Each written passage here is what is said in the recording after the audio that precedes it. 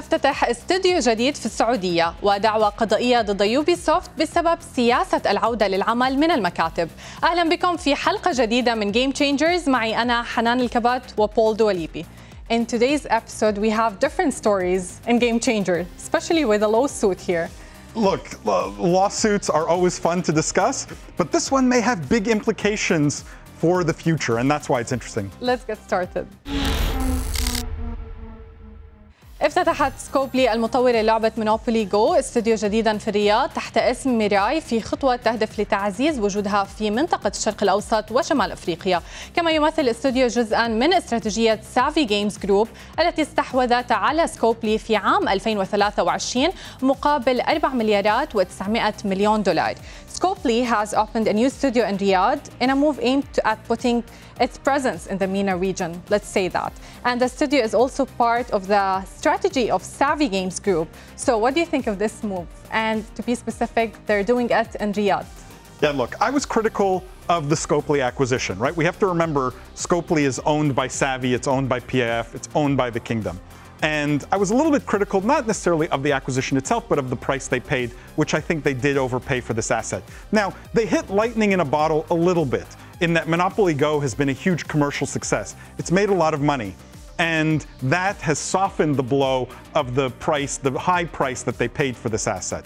And so it'll be interesting to see if Scopely is successful in bringing game development there, but it has to be successful. And now, Paul, to Ubisoft.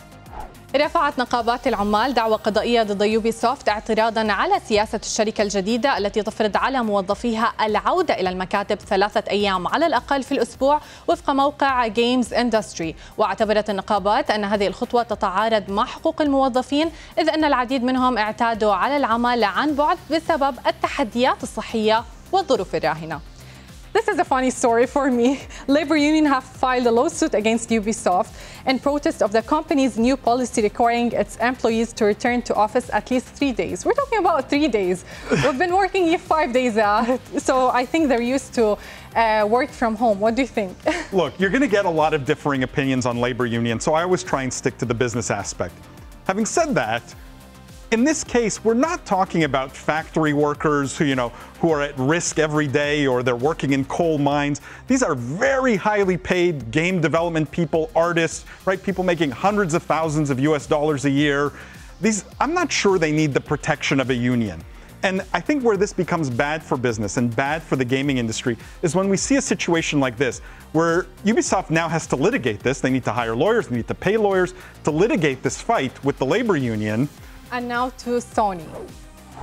تعمل سوني على تطوير جهاز يدوي جديد يتيح تشغيل ألعاب بلاي ستيشن 5 أثناء التنقل وفقا لتقرير اندرويد اوثورتي وسيكون الجهاز الجديد مستقلا أكثر من بلاي ستيشن بورتل الذي تبلغ تكلفته حوالي 200 دولار كما سيكون مصمما لمنافسة نينتندو سويتش So Sony is developing a new handheld device that will allow you to play PlayStation 5 games on the go and the device will be more standalone than the PlayStation Portal. I'm excited to try this device.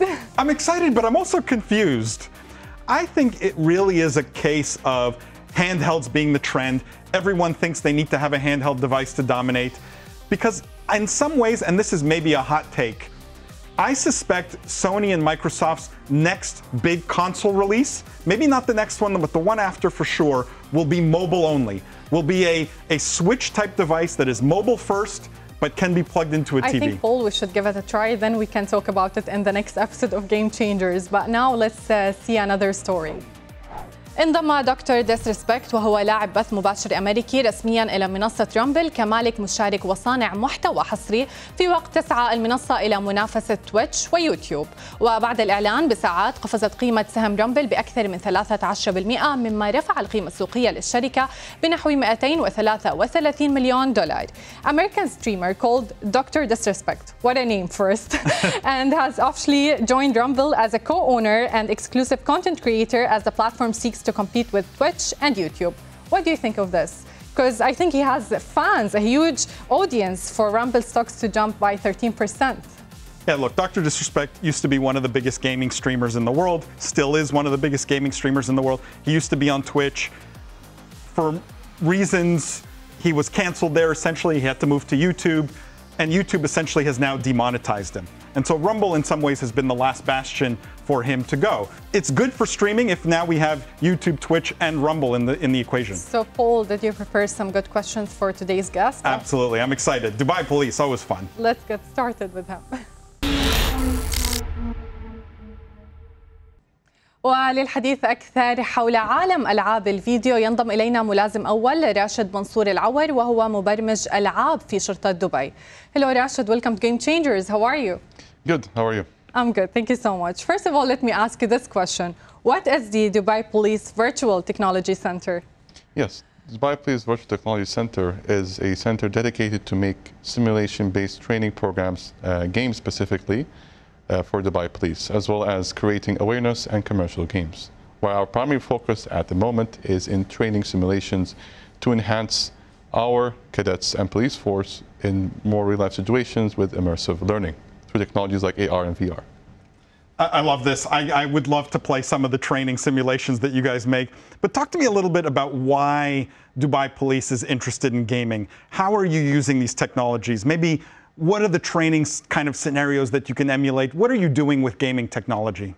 So what we do in the Virtual Technology Center specifically is using devices like VR, AR, and smart devices like iPad and iPhones to teach our cadets and police force how to manage situations such as traffic accident investigations and crime scene investigations.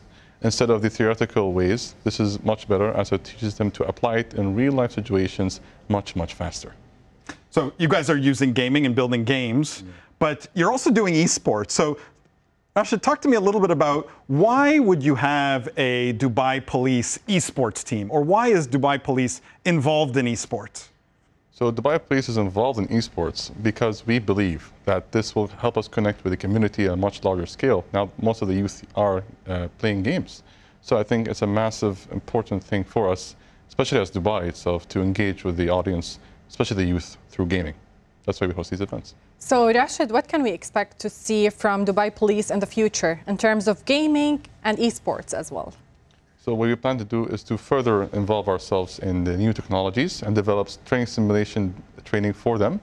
Um, and also try to create more larger scale events to not only grab the regional audience, but the global audience to show Dubai as a brand in esports ecosystem and the gaming ecosystem as well. We've seen so many improvements and so many investment happen towards the gaming industry. Where do we see Dubai in the future? Let's talk about next five years. Okay. Along with the uh, His Highness Sheikh Hamdan bin Mohammed uh, Al Maktoum, he launched the program of the Dubai Program for Gaming 2023. Uh, we believe it to become within the top 10 re best regions for gaming in the world with heavy investments in it. On the esports side, right? Because I think Dubai Police, one of the things they're most known for, I think a lot of people know them for, you know, the Lamborghini Dubai police car. But in the gaming world, you guys have a presence, a significant presence at almost every esports event, every gaming event in the region. Is there a future where Dubai Police is using esports beyond just community engagement? Is there, you know, is this a recruitment tool, for example? H- how do you use esports beyond just engaging with the community, or is that really the focus? So as I said, our primary focus is to engage with the community, to establish a community well-being of happiness and society, to make sure that people are safe. We have to be involved in these areas because now many people are gaming from young to adults. So for us, Dubai Police, to be involved in this whole industry and the communities of gaming, it's very important to make them also feel safe. Yeah, that, that idea of safe gaming, I think, is a perfect intersection with Dubai Police, especially when we've talked about on the show you know, kids getting online and some of the dangers necessarily of being online, playing online. So love to see Dubai Police involved there as well. Thank you so much uh, for being with us in Game Changers. Thank you. وبهذا كان معنا ملازم أول راشد منصور العور وهو مبرمج ألعاب في شرطة دبي